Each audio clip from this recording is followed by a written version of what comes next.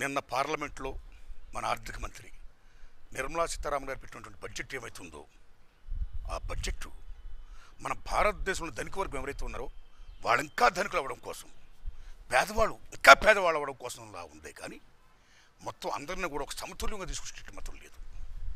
మధ్యతరతన పట్టించుకోలేదు. పేదవాళ్ళని అసలు పట్టించుకోలేదు. వలసకులను అసలు పట్టించుకోలేదు. ఎన్నిటిని మించి ఈవేళ భారతదేశంలో రైతాంగం ఎవరైతే మౌనతమైనటువంటి పోవడం చేస్తున్నారో ఈ మూడు చట్టాలకు ఎగ్నిస్ట్గా విద్యుత్ సంస్థకు ఎగ్నిస్ట్గా ముఖ్యంగా ఎంఎస్పిని కనీస మద్దతుని మీరు ప్రకటించండి చట్టబద్ధం చేయండి అని ఏమైతే వాళ్ళు డిమాండ్ చేస్తున్నారో డాక్టర్ స్వామినాథన్ కమిటీ సిఫార్సుని ఇంప్లిమెంట్ చేయమంటున్నారో దాన్ని బడ్జెట్లో పెట్టకపోవడం ఆ రైతుల డిమాండ్స్ అందరూ చెప్పకపోవడం నాకు చాలా బాధేస్తుందండి. మన భారతదేశంలో ఇవాళ రైతులు మహోన్నత పోవడం చేస్తున్నారు. ముఖ్యంగా కేంద్ర ప్రభుత్వం పెట్టినటువంటి ఈ మూడు చట్టాలకు ఎగ్నిస్ట్గా నూతన వ్యవసాయ చట్టాలకు ఎగ్నిస్ట్గా విద్యుత్ సంస్థలకు ఎగ్నిస్ట్గా వాళ్ళు మహోన్నత పోరాటం చేస్తున్నారు. అన్నింటిని మించి డాక్టర్ స్వామినాథన్ కమిటీ సిఫార్సుని మీరు ఇంప్లిమెంట్ చేయండి. మా కనీస మద్దతుని మీరు ప్రకటించి చట్టబద్ధం చేయండి అంటున్నారు మీరు. సో ఆ డిమాండ్ గురించి మీరు ఎక్కడ చెప్పారు? దాన్ని ఎక్కడ మీరు అమలు చేశారు? బడ్జెట్లో మీరు ఎక్కడ ప్రస్తావించారు దాన్ని మీరు? అది చేయలా? రైతుకి మీరు పదహారు లక్షల కోట్ల పైగా మీరు ఇవాళ రుణాన్ని ఇప్పిస్తున్నాం. అంత అంతమంది బడ్జెట్ కంటే సార్ ఎక్కువ ఇప్పిస్తున్నాం అని చెప్తున్నారు. ఓకే మీరు రుణాలు ఇవ్వండి. కానీ నా విజ్ఞప్తి ఏంటంటే రైతుల్ని మీరు ఇలా రుణగ్రస్తు చేసే బదులు వాళ్ళకైతే రుణాలు ఇస్తున్నాం పెంపొందింపు చేస్తున్నాం డెవలప్ చేస్తున్నాం అనే బదులు రైతు ఎక్కడ ఏ రుణం తీసుకోకుండా ఉండాలంటే ముందు రైతు పండించి తన పంట ఏమవుతుందో దాన్ని గిట్టుబాటు ధర కల్పించండి. అప్పుడు ఎవరి దగ్గర రైతు రుణం చే రుణం తీసుకోడు? ఎవరి దగ్గర చేయి చాచడు రైతు? గిట్టుబాటు ధర కల్పించాలంటే వాడి దగ్గర డిమాండ్. డాక్టర్ స్వామినాథన్ కంపెనీ సిఫార్సు ఇంప్లిమెంట్ చేయమన్నారు డాక్టర్ స్వామినాథన్ కమిటీ సిఫార్సు ఇంప్లిమెంట్ చేయాలంటే ఎంత అవుతుందండి? లక్ష ఇరవై ఎనిమిది వేల కోట్లు అవుతుంది. అదంతా జీడిపిలో just one point three percent మాత్రమే. మీరు పెట్టిన బడ్జెట్లో ఎయిట్ పర్సెంట్ మాత్రమే. ఈ మాత్రం రైతుల కోసం మీరు చేయలేరా అండి? దాన్ని ఇంప్లిమెంట్ చేయలేరా అండి? కేంద్రం రాష్ట్ర ప్రభుత్వాలు పంచుకుంటే రైతు ఎంత ఆనందంగా ఉంటాడండి? నిజంగా నిజంగా గిట్టుబాటు ధర వస్తే ఎవరిదే రైతు రుణం తీసుకో అవసరంలా? మీరు ఏ రుణాలు అతనికి ఇవ్వవసరంలా అచ్చేయండి ముందు దట్ ఈస్ ద డిమాండ్ దాన్ని ఇంప్లిమెంట్ చేయండి దాన్ని గౌరవించండి. ది సేమ్ టైం ఈ బడ్జెట్ చూసుకోండి. ఎన్నికల బడ్జెట్లా కనపడుతుంది. ఇప్పుడు ఓ తమిళనాడులోనో అస్సాంలోనో ఎక్కడో హర్యానాలోనో మరి ఎక్కడో వేరే ప్రాంతాల్లో ఎన్నికలు జరుగుతున్నాయి కాబట్టి ఆ ఎన్నికలు దృష్టిలో పెట్టుకొని వాళ్ళకి డెవలప్ చేసేసి వాళ్ళకి అనేక రకాలుగా రాయితీలు ఇచ్చేస్తే ఇక్కడున్న తెలంగాణ కానీ ఆంధ్రప్రదేశ్ కానీ అనేక రాష్ట్రాలకు చాలా రాష్ట్రాలకు ముఖ్యంగా సౌత్ ఇండియాకి ఏం న్యాయం చేస్తున్నారు మీరు?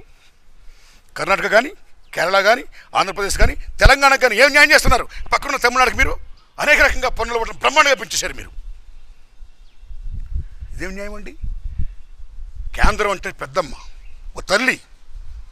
అలాంటి తల్లి తండ్రి రాష్ట్రాలంటే బిడ్డలు. ఆ బిడ్డలందరూ కూడా సమానంగా పెంచాలి. సమానంగా చూడాలి. ఎవరికైతే లేవో ఎవరికైతే ఉండవో ఎవరి కడుపు కాలుతుందో వాళ్ళ కడుపు కాలకుండా వాళ్ళకి డెవలప్ చేయాలి. అందరినీ కూడా సమతుల్యం చేయాలి. That is the importance of centre అది పెద్దన్న రోల్ ప్లే చేయడం అంటే. అలా కాకుండా వివక్ష చూపిస్తే ఒక ఎన్నికల బడ్జెట్లో మీరు పెడితే కొన్ని రాష్ట్రాలు ఎన్నికలు వస్తున్నాయి కాబట్టి బడ్జెట్ పెంచుకుంటూ పోతే అంటే అది playing just vote bank politics this not correct ఇక్కడ తెలంగాణలో కాళేశ్వరం ప్రాజెక్టుకి జాతీయ హోదా కల్పించారా మీరు? నీతి ఆయోగ్ సిఫార్సు చేసినా సరే నిధులు మీరు విడుదల చేస్తున్నారా? బయ్యారు ఒక్కొక్క ఫ్యాక్టరీ ఏమైంది? అక్కడ మా ఆంధ్రప్రదేశ్లో ప్రత్యేక హోదా ఏమైంది? పోలవరం డ్యామ్కి నిధులు ఇస్తున్నారా మీరు? ఏమైంది? సో అనేక ఫ్యాక్టర్స్లో మా తెలుగు రాష్ట్రాలు రెండింటిలో కూడా మీరు చాలా చిన్న చూపు చూస్తున్నారు. అలాగే కర్ణాటక కానీ అలాగే కేరళకు కానీ ఇదేం న్యాయం అండి? ఫెడరల్ స్ఫూర్తిని కాపాడాలి. దేశంలో ఉన్న మొత్తం విభిన్న జాతులతో విభిన్న మతాలతో కూడుకున్న మన భారతదేశం అనేక రాష్ట్రాలతో కూడుకుంది. ఒక ఫెడరల్ స్టేట్ ఇది. ఒక కేంద్రం అమ్మగా నాన్నగా ఉంటూ ఒక పెద్దన్నగా ఉంటూ రిమైనింగ్ ఉన్న ఆల్ రాష్ట్రాలను కూడా అప్రిప్ట్ చేసి ఫెడరల్ స్ఫూర్తిని కాపాడితే ఫెడరల్ లక్షణాలు కాపాడితే ఫెడరల్ హక్కులు మీరు ఇస్తే అప్పుడు అన్ని రాష్ట్రాలు బాగుపడతాయి. ఇవాళ మీరు చర్చలు పెంచుకుంటూ పోతే జిఎస్టీలు పెంచుకుంటూ పోతూ అవన్నీ మొత్తం కేంద్రం తీసుకుపోతే ఇంకా రాష్ట్రాలకు ఓట అయ్యేదండి రాష్ట్రాలకు ఎక్కడ డెవలప్ వస్తుంది డెవలప్ ఎక్కడ డెవలప్ అవుతాయి? రాష్ట్రాలు ఏం పెట్టుకొచ్చి పెడతాయి? ప్రతిదీ కేంద్రం అనుకోవాలా? ఇదైనా ఫెడరల్ స్ఫూర్తా? కాదే? సో మీరు ప్రతిదీ కూడా ప్రైవేట్ కానీ చేసుకుంటూ పోతే ఈవేళ భీమా అని ఇంతకు ముందు నలభై తొమ్మిది శాతం ఉన్న బీమా ఈవేళ విదేశీ పెట్టుబడికి ఏమైతే ఉందో ఈవేళ డెబ్బై నాలుగు శాతం చేశారు. అంటే బీమా కంపెనీ ది హ్యాండ్స్ ఆఫ్ విదేశీ శక్తులా? బహుళత కంపెనీ చేతిలో పోతుందా? అలాగే ఎల్ఐసి ఎంత లాభాల్లో ఉంది? అలాగే ఎల్ఐసి కూడా ఇవాళ ప్రైవేట్ పరం చేస్తారా మీరు?